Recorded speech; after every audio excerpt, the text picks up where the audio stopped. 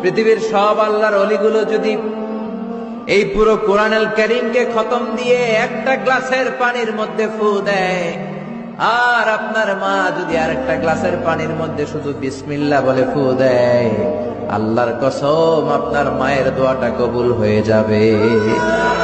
ঠিক কিনা?